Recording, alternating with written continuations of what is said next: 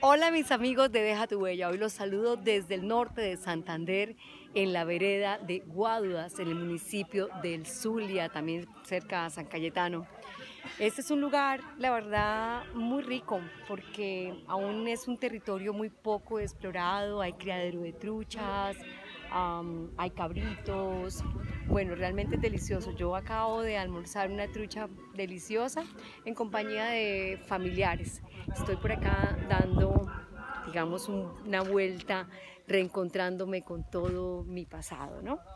Pasado con mi familia. Y eh, este es un árbol bellísimo, quiero que lo vean y aquí están todos tomando sombra.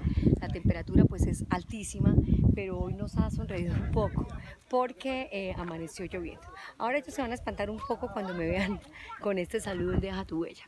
Pero aquí vamos. Porque nosotros estuvimos